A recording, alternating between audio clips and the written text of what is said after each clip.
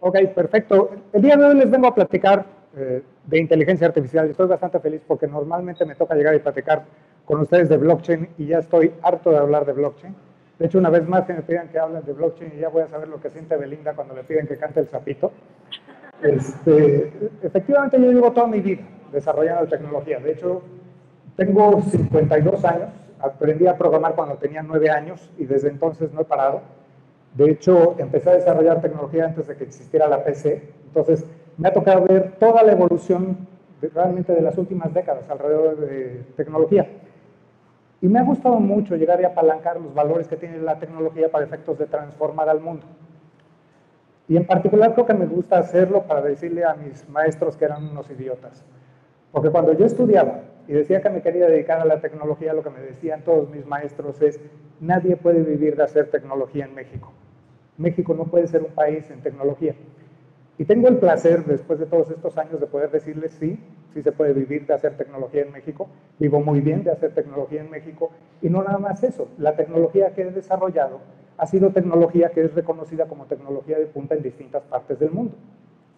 Hace muchos años, antes de trabajar en IBM, trabajé como Chief Technology Officer del Servicio de Administración Tributaria. Y entonces, además de perder a todos mis amigos por andar cobrando impuestos, me toca desarrollar algunas tecnologías innovadoras como la firma electrónica avanzada o como la facturación electrónica. Entonces, sí, la culpa es mía. El SAT sabe más de ustedes que lo que sabe su propia pareja. Pero de una manera o de otra, todo esto se logra apalancando estos valores que tiene la tecnología para efectos de llegar y transformar los negocios.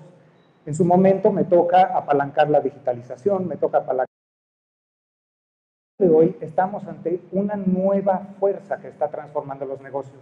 Y esa fuerza es la inteligencia artificial. Ahora, intentar entender la inteligencia artificial es realmente un dilema, porque, porque realmente lo que sucede es que tenemos distintas definiciones de qué es esta inteligencia artificial. Porque aquí como que está chueco esto.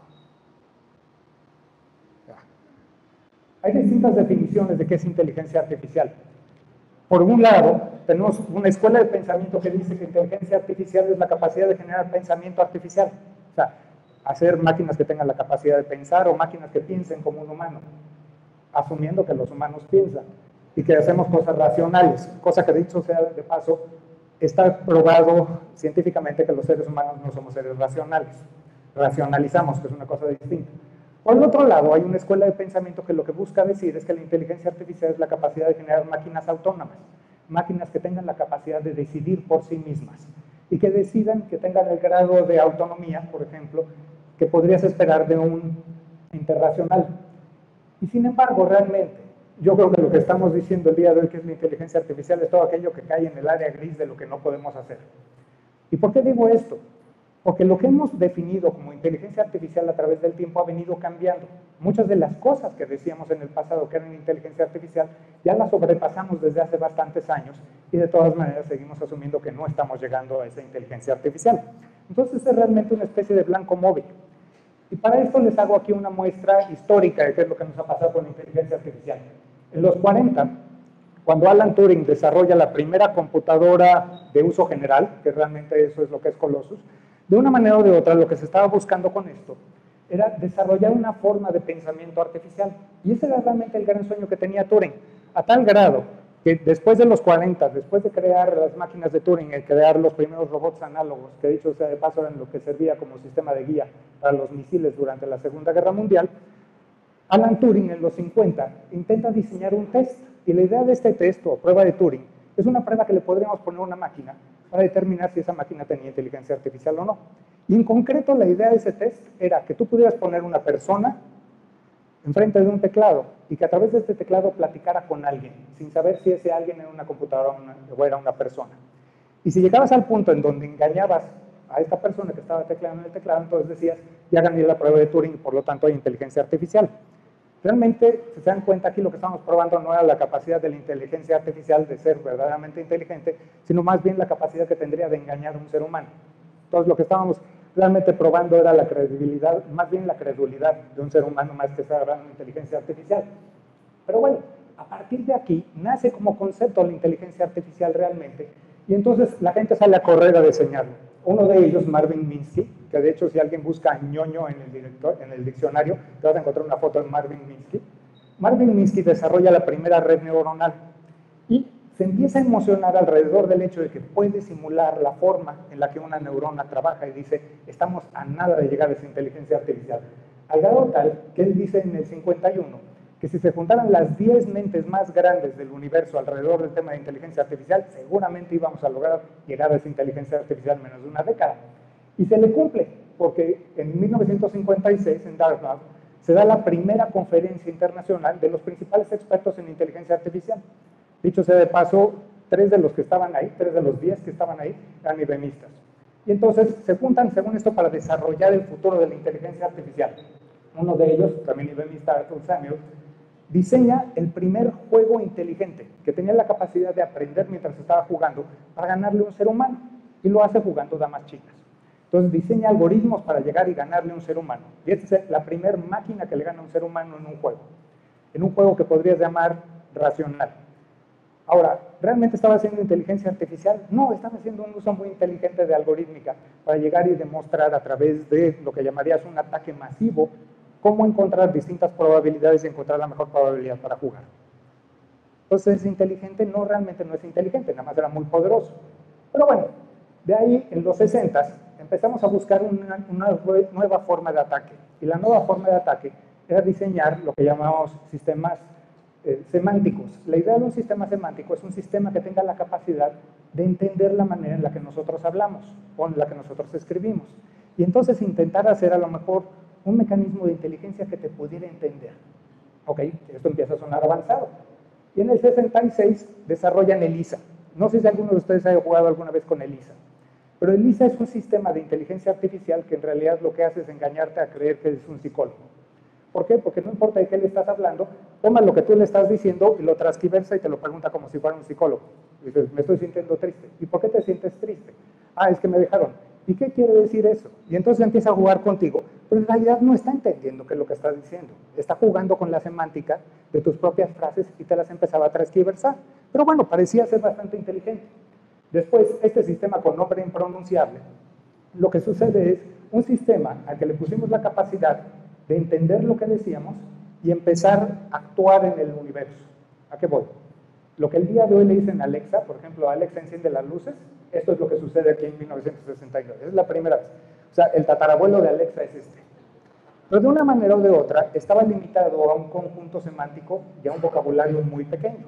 Las capacidades técnicas que teníamos no eran muy buenas. Y de repente, ¿qué sucede? Entramos desde el 70 hasta el 80 en lo que llamamos el primer invierno de la inteligencia artificial. ¿Por qué? Porque de repente nos desesperamos. No importaba cuánto fierro le aventáramos, cuánto dinero le aventáramos en investigación, la inteligencia artificial parecía no materializarse.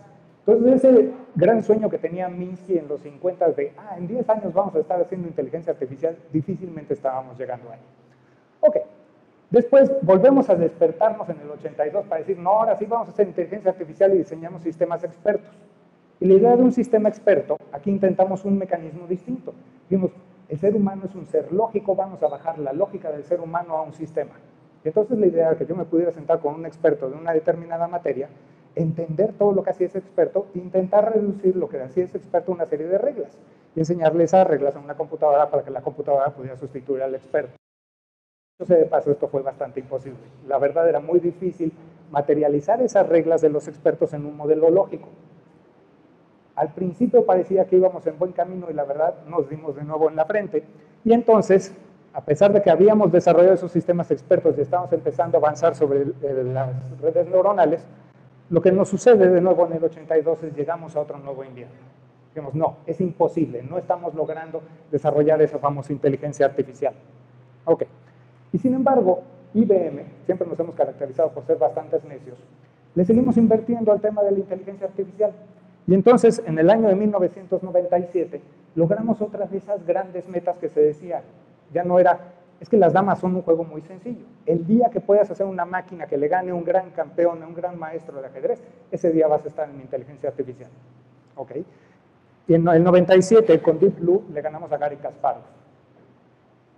Y no le ganamos por poco, le ganamos por mucho. Pero estábamos haciendo inteligencia artificial y de nuevo la respuesta es, no, no parece que estemos haciendo inteligencia artificial, nada más hicimos un sistema que era muy bueno para jugar ajedrez.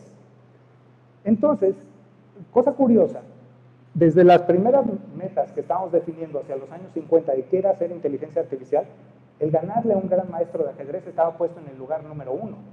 Y de repente cuando lo logramos, es, ya no es inteligencia artificial. Entonces se dan cuenta cómo el banco se está moviendo. Ahora, en el 2005 hacemos un gran ejercicio alrededor de desarrollo de máquinas autónomas.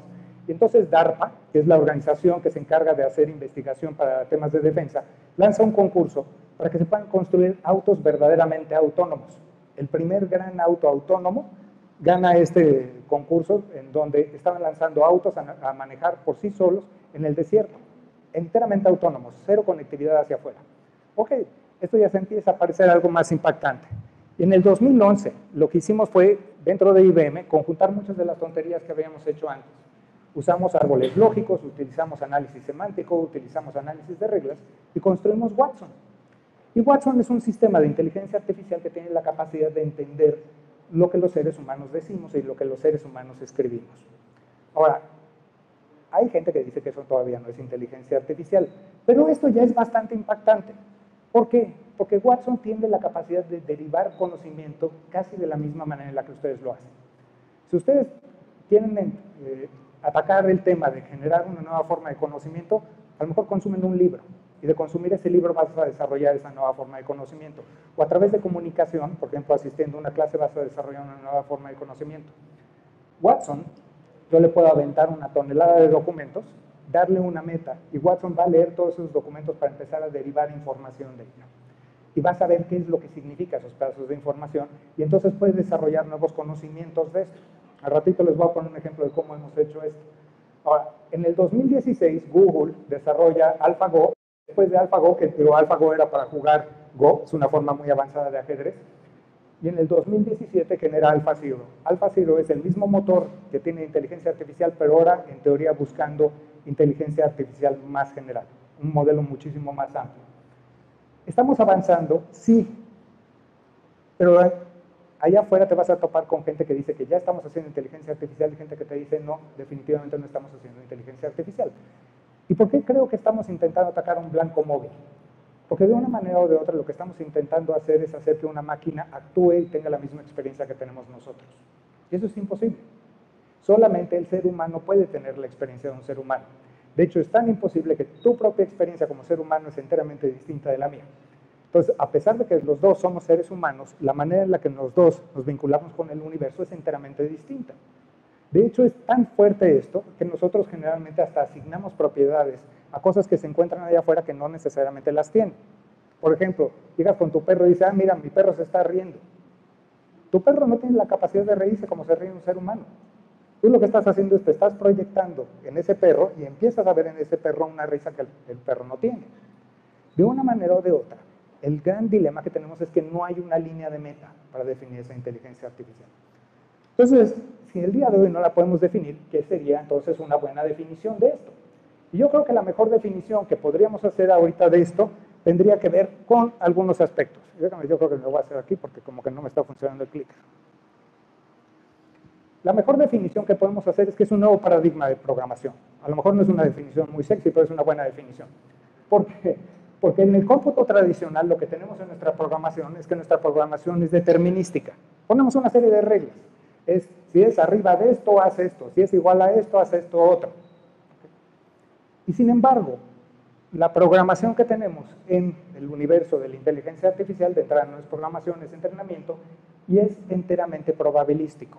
¿Qué es lo que estamos haciendo? Diseñamos un modelo matemático a que le estamos aventando una serie de instancias y esas instancias las vamos calificando.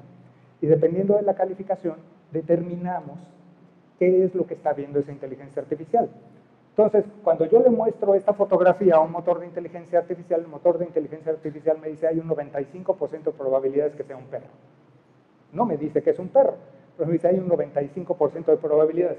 Y de hecho lo simpático es que si ves las probabilidades que te tira una de tantas que está metida ahí dentro, es, dice tiene un 12% de posibilidades de ser un, de ser un muffin de blueberries. Por el color y por la distribución de los puntos. Pero así es como funciona. Entonces, a pesar de todo ese tema de, de sexiness que tiene la figura de la inteligencia artificial, no es otra cosa más que modelos estadísticos. Lo único que estamos haciendo es primordialmente matemática. ¿ok? Pero lo padre de estos mecanismos es que estos mecanismos tienen la capacidad de aprender.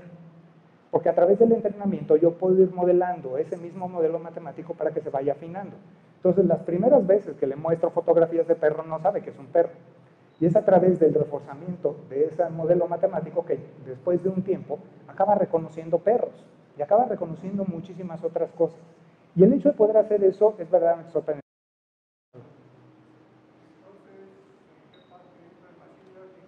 Ok. El Machine Learning es una de tantas disciplinas de la inteligencia artificial. Sea, inteligencia artificial es una manera de hacer una máquina que parece estar pensando. El Machine Learning le agrega una capa por encima que lo que hace es hace que estos modelos que simulan inteligencia tengan la capacidad de aprender a través del entrenamiento. Eso es lo que sería Machine Learning. Déjame ver porque esto por alguna razón no me está funcionando. Ok. Ok. La inteligencia artificial está alrededor de todas las cosas que ustedes hacen. Ustedes están usando inteligencia artificial el día de hoy. A lo mejor no se ve terriblemente sexy, no es tener un robot, pero la verdad es que están ahí. O sea, el día de hoy, cuando Netflix les hace recomendaciones de películas, están utilizando inteligencia artificial. Cuando Waze les está sugiriendo cuál es la mejor ruta para tomar, están utilizando inteligencia artificial. Incluso Uber Eats le está utilizando, sobre todo para determinar no nada más cuál es el lugar más cercano para obtener tu comida, sino que de cuál de esos lugares va a llegar la comida a la temperatura a la que a ti te gusta.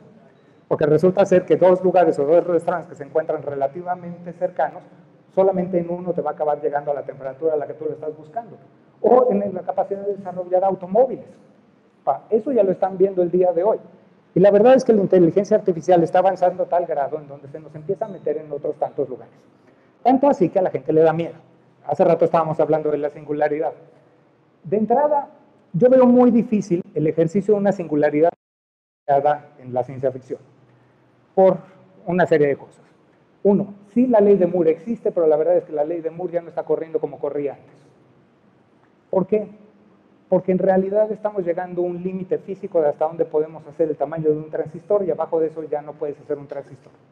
Y abajo de eso, eso implica que no podemos meter más compuertas lógicas adentro de un microprocesador y eso a la vez implica que no puedes hacer microprocesadores mucho más rápidos y más baratos.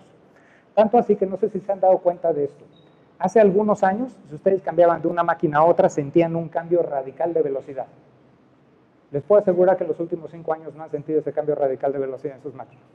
Por una sencilla razón, la velocidad de su procesador ya no está cambiando. El día de hoy, ¿saben dónde la sienten? En su celular. Pero ya no lo sienten en su computadora. Su computadora no está corriendo muchísimo más rápido porque ese paradigma que teníamos de subir, subir, subir, subir de la ley de Moore, ya, físicamente está llegando a un tope. Veces no quiere decir que se va a detener ahí. ¿Por qué? Porque viene el cómputo cuántico. Y el cómputo cuántico efectivamente va a dar el siguiente brinco para poder hacer el futuro de la inteligencia artificial. Pero aquí el tema así de que las máquinas se van a volver locas, no, difícilmente. Alguien tendría que tener una buena razón para hacer una máquina que se vuelva loca. El día de hoy, todo lo que le invertimos de dinero a la inteligencia artificial está puesta primordialmente para que podamos desarrollar cosas que son útiles para nosotros. Las máquinas no tienen propósito por sí solas, entonces no tienen esa capacidad de volverse verdaderamente locas hay mucha gente que se asusta sobre la pérdida de trabajos. Y yo que tener un tema. No es tanto de pérdida de trabajo, sino de transformación del trabajo. Y la verdad es que nos vamos a tener que ajustar ante una nueva realidad. Y ese ajuste a esa nueva realidad es particularmente importante. ¿Por qué? Porque a pesar de que no va a haber una inteligencia artificial verdaderamente poderosa, hay algunas cosas que son llamativas. Por ejemplo, tenemos un modelo que es lo que llamamos inteligencia artificial delgada. Esta es inteligencia que tiene un único propósito. Y en esa somos muy buenos. Tan buenos que el día de hoy ya estamos haciendo sistemas que son muchísimo más poderosos que lo que puede hacer un ser humano. O sea, jugar ajedrez, por ejemplo. ¿okay? Y vamos a tener un punto en donde, por ejemplo, una máquina va a tener la capacidad de manejar muchísimo mejor que un ser humano. O hacer una predicción sobre un modelo financiero. Pero, por ejemplo, inteligencia gruesa, en donde tengo modelos de inteligencia que tienen múltiples propósitos, Estamos desarrollando algunos, pero la verdad es que todavía vamos muy lentos y necesitamos muchísimo más poder de cómputo para hacer esto. Para hacer una verdadera inteligencia general que tenga la capacidad de aprender por sí sola y tener su propio propósito, la veo casi imposible. Y sobre todo porque hay un tema. Hacerla sería tan cara que alguien tendría que tener una buena razón económica para intentar desarrollarla. Y la neta es que al final del día, por todo lo que nosotros queramos hacer como ingenieros, siempre los contadores mandan. Y al final del día, si el contador te dice, el modelo financiero no cuadra, no jala. Entonces tenemos que lanzarnos hacia allá.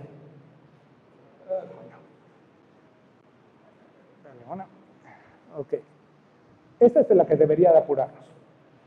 Sí, las máquinas van a acabar con trabajos, pero no acaban con el trabajo.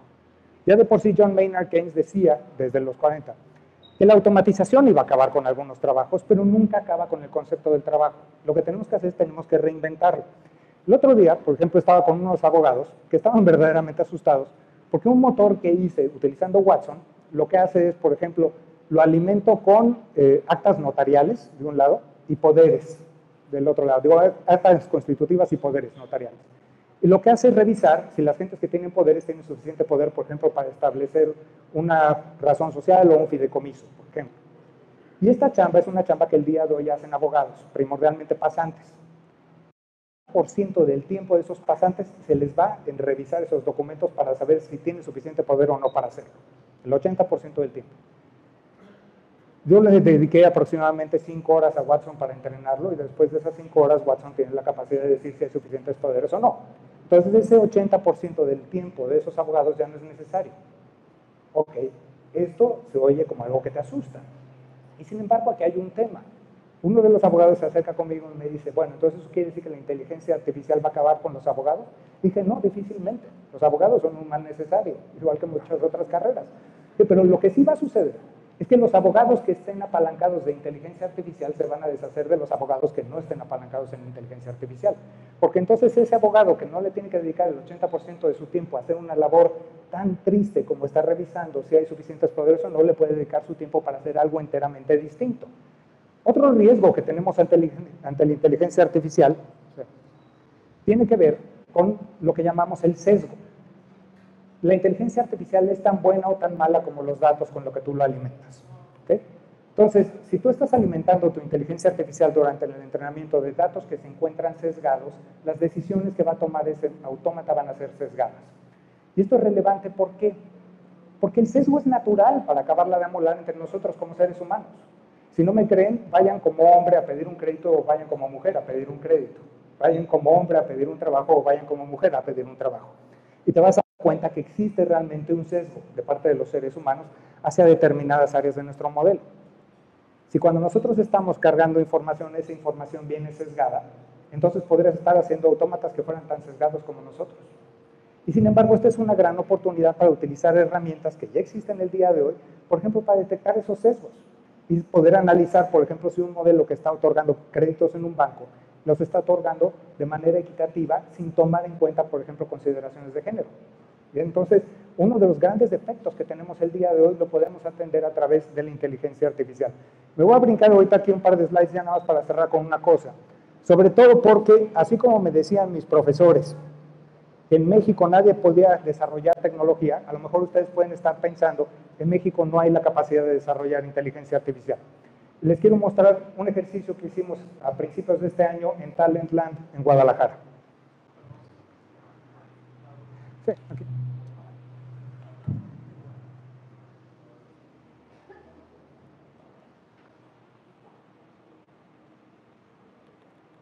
Ah, es que no está. Ah. ah. por alguna razón aquí no lo está poniendo. No, no me está poniendo. Ok, pues entonces los voy a tener que platicar. En Talentland lo que hicimos fue, rompimos el récord Guinness de la clase de informática más grande que había habido en la historia del mundo. Entonces tomamos a 775 chavos. Y eso fue lo que logramos. Vamos a regresar para que lo puedan ver. ¿Cómo entrenar un motor de inteligencia artificial para ser un asistente virtual?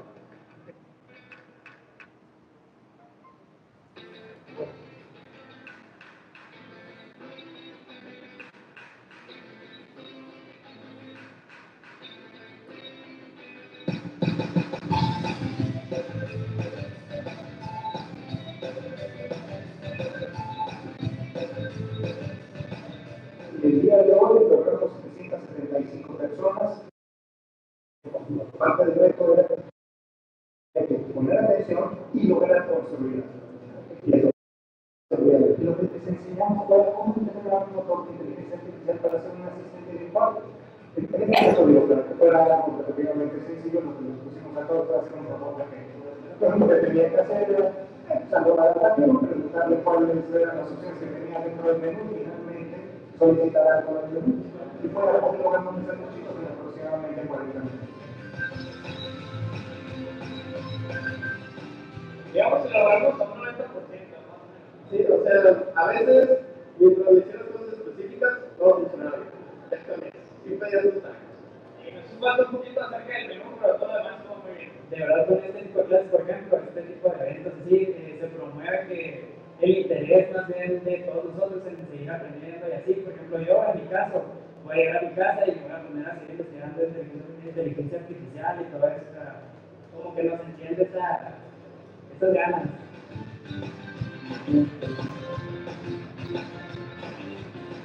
pudimos llegar a un resultado oficial de 775 que es un nuevo es un récord para ellos. Entonces, de una manera o de otra, 775 chavos que nunca habían programado se sentaron a desarrollar durante 45 minutos y lograron construir un asistente virtual. Para efecto práctico, la misma funcionalidad que te encuentras atrás de un Siri o que te encuentras de un Alexa, en 45 minutos. De esos 775 chavos, yo me metí para poder hacer seguimiento y ver cuántas de esas cuentas seguían abiertas. De esas 775, todavía el día de hoy aproximadamente 460 cuentas siguen abiertas y siguen utilizándola. Entonces, ¿qué sucede? Este universo en donde la gente pensaba que la tecnología no se puede desarrollar en México es un mitote. La verdad es que lo podemos hacer. ¿Por qué? Porque uno, ya no necesitas grandes inversiones de capital. Cuando las cosas están en la nube no necesitas contratar infraestructura. Son servicios que puedes empezar a consumir, por ejemplo, a lo mejor desde cuentas demo. Incluso cuando empiezas a desarrollar y empiezas a pagar, pagas poco. Y cuando quieres desarrollar en grande, entonces sí, haces una mayor inversión. Pero entonces esto lo que implica es que el día de hoy dos chavos allá afuera, armados con una tarjeta de crédito en un Starbucks, tienen acceso a la misma tecnología que una empresa Fortune 500. Entonces, el verdadero recurso escaso ya no es el capital, no es la infraestructura. El recurso escaso es la creatividad. Y estos chicos lo aprendieron después de 45 minutos. Entonces ahí el mensaje para ustedes y el mensaje para las personas que ustedes conocen es que México puede apalancar esa capacidad creativa que tiene para llegar y construir el futuro. Porque ante ese futuro y ese cambio que viene de manera inexorable, nosotros tenemos únicamente una de tres posiciones. Podemos ser testigos de ese cambio, podemos ser víctimas de ese cambio o podemos ser los actores de ese cambio. Muchísimas gracias.